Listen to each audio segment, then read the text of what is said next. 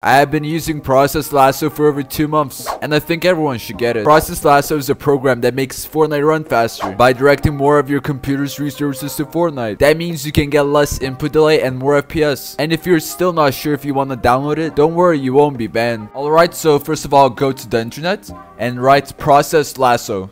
Now where you see Bitsum, you want to click on it and press on this green download free button. Now you want to create your own folder and just save it. Or if you want, you can just save it on your desktop. It's really by preference. Alright, so when you download it, you want to just double click it, press run. And now you want to select your language, I prefer English, and press agree. Press next and pick which folder do you want to download in. Now you want to open Epic Games and open Fortnite.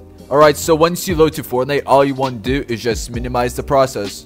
Now go to Process Lasso and you want to find Fortnite and specifically you want to find Fortnite clients Win64 shipping be.exe and you want to double click it.